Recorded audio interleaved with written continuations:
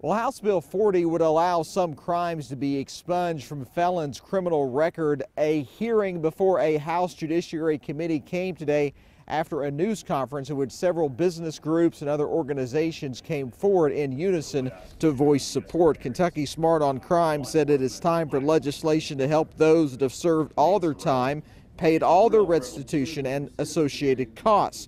The bill being heard before the committee would expand the scope of expungement to include Class D felonies. Secretary of State Alison Lundergan Grimes spoke in support of the bill.